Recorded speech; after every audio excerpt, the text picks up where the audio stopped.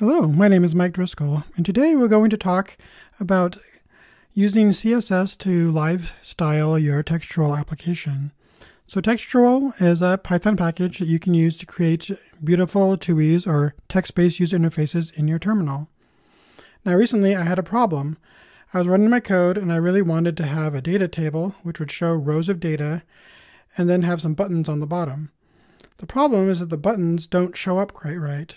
They're way down here, which is kind of where I wanted them, but I, I wanted the buttons to be completely shown. Right now they're pushed off just a little bit off of the bottom.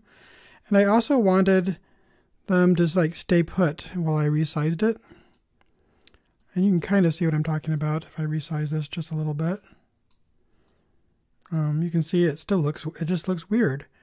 And so I'm going to show you how to fix stuff like that. So when you're using textual, you can use CSS to do all of your styling. This is the styles that I'm using right now, and this is the code over here. Let's just talk about the code first. So first things first, you set the CSS path. This tells textual to look at a TCSS file that you want to edit. So we're going to edit with, uh, or that you want to apply styles from, but we can live edit this, which we'll get to in a minute. Then we have compose, which is where you usually put your code for creating the widgets. In this case, I have a data table. I have some containers, center, horizontal, a couple of buttons here at the bottom. And then under mount, I'm just mounting a couple rows of data. They don't have anything in them right now. So I'm just putting no data found. Press Control L if you like to load a file, which I don't have implemented yet. And then I just add some columns based on the data that's in there. Cool, everything works the way I want, except those buttons just don't work the way I'd like them to. So uh, to figure out what's going on and why those buttons are being pushed all the way to the bottom, we need to run this application in developer mode. So we're going to do textual run, and we're going to run our live example here. And you just do dash dash dev at the end, and that puts it into developer mode. And so now we can go to our CSS and we can start experimenting. So the first thing I want to do is I probably should put some borders on things so I can see what's going on.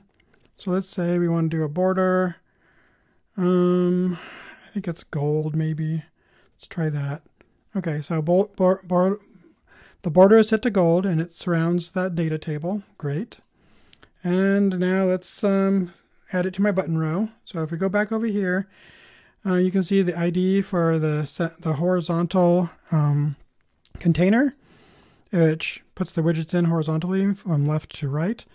We have that set to button row as the ID. So to select that, you just do a pound button dash row, uh, align middle, so it's aligned where I'd like it to be. But let's take a look at the border. So let's say we want that one to be blue. Let's hit enter. Okay, so now we can kind of see what's going on. Let's uh, resize this again. Just a smidge. All right.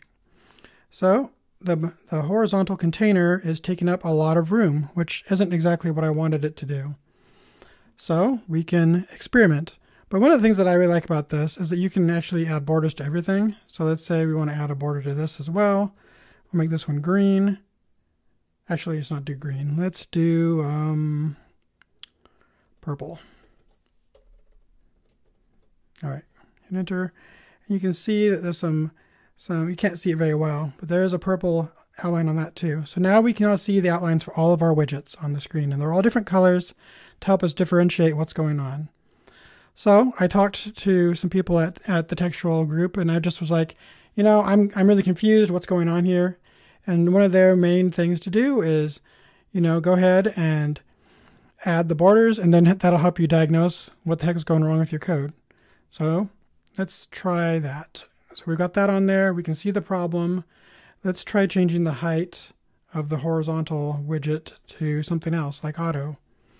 So when you set it to auto, what happens is that the widget or the container will resize to fit uh, what, what, it, what it contains. So in this case, the horizontal widget is resized to the right height to contain those widgets. But now, as you can see, uh, they're up at the top, and I kind of wanted them at the bottom in case my data got bigger. So if I had, you know, 100 rows, it'd push the, the data table would be big enough that I could see a lot of data without pushing these widgets ever off the screen.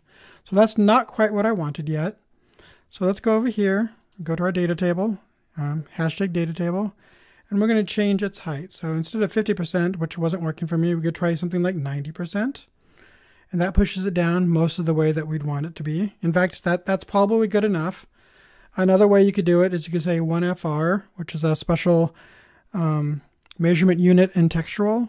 But if you save that, it's very similar to, basically it says uh, that's like 100% um, of all the rest of the room. So that's kind of how, how I like to think of it anyway. It's trying to use up the rest of the room in the widget or in the space without pushing the other one off of the screen. But, you know, 90% to me is a little bit more explicit. So let's go back to that um, and do that. Now, I will point out if we change this to 100%, it will push those bottom widgets out, which is not what we wanted. So let's not do that. But now we have it exactly where we wanted to, and we just had to change um, the heights. So that, that was a really quick and dirty way to, to fix that problem. However, one thing that was pointed out to me is that, you know, I'm kind of making, I'm kind of overdoing things by um, nesting all of these different containers.